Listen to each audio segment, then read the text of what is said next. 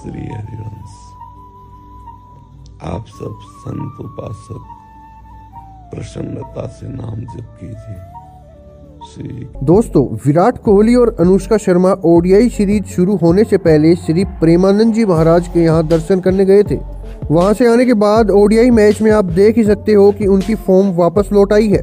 उनकी फॉर्म वापस लौटने पर श्री प्रेमानंद जी महाराज भी बहुत ज़्यादा खुश है।